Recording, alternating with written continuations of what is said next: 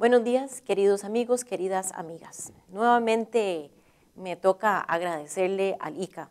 eh, la muy amable invitación que me hacen de eh, conversar con ustedes sobre el muy importante tema de agricultura en las negociaciones de cambio climático. Y nuevamente agradecerles pues la invitación eh, de tener un intercambio antes de una de las sesiones de negociación. ¿Dónde estamos en este tema? Bueno, la buena noticia, como ustedes bien saben, es que hay un acuerdo internacional de que el tema de agricultura va a ser abordado dentro de las negociaciones de cambio climático. Hasta ahí estamos bien, eso costó mucho, como ustedes bien lo saben, pero esa decisión está. El reto que tenemos adelante, que es el reto que continúa estando enfrente de nosotros, es cómo vamos a abordar el tema y sobre todo habiendo consenso sobre cómo abordar el tema, cómo vamos a construir el programa de trabajo eh, del tema de agricultura dentro de las negociaciones de cambio climático. Permítame serles muy franca. Tenemos aquí, para poder empezar una conversación constructiva, tenemos el reto, el reto más grande que es cruzar un umbral político y es netamente político.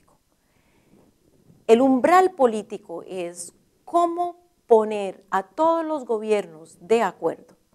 en que la conversación sobre la incorporación de agricultura dentro de las negociaciones de cambio climático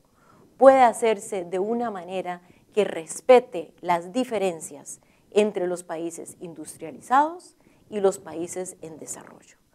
que se respete que los países en desarrollo no pueden en este momento asumir obligaciones de reducción de emisiones, sobre todo en el sector de agricultura, pero quizá sí se podrían empezar a ver no obligaciones, sino oportunidades. ¿Cómo se le podría incentivar ciertamente a los países en desarrollo y cuál sería entonces la participación diferenciada de los países eh, industrializados para que empiecen a promover una agricultura que sea sostenible a largo plazo dentro de sus fronteras y que sea de acuerdo al, al contexto comercial en el cual los países tienen una relación el uno con el otro. Lo que quisiera proponerles es que dichosamente nuestra región tiene dentro de sí tal diversidad de opiniones y de posiciones sobre este tema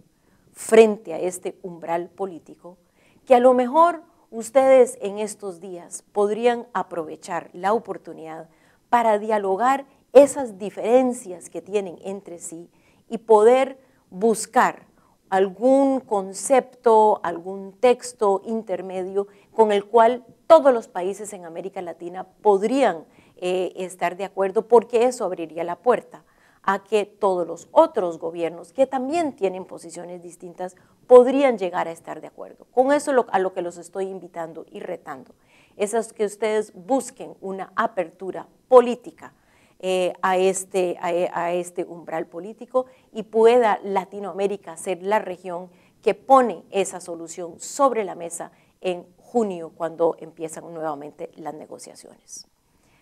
Asumiendo que pudiéramos cruzar el umbral político, luego entraríamos en una muy fructífera conversación sobre las oportunidades que hay en agricultura, tanto en la adaptación, porque es cierto que la agricultura que hemos tenido en el pasado no puede seguir así. Hay que convertir nuestra agricultura en una agricultura más resistente a los cambios climáticos, más sostenible en el largo plazo, pero también, eso con respecto a la, adaptación, pero también la agricultura tiene muchas, muchas eh, posibilidades de ayudar a reducir eh, las emisiones y de ahí que la agricultura puede ser una solución tanto para la adaptación como para la mitigación. Esa conversación no puede ser abordada constructivamente hasta no haber cruzado el primer umbral político. Y luego, por supuesto, abriría las puertas a una eh, discusión muy importante que es cuál podría ser el rol del sector privado para ayudarle a los países del mundo a lograr la inversión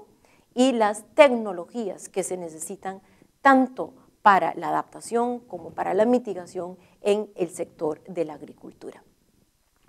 Queridos amigos y amigas, estos son retos muy grandes, eh, pero yo lo que quisiera esperar es que ustedes logren por lo menos identificar un paso concreto que se podría dar en junio,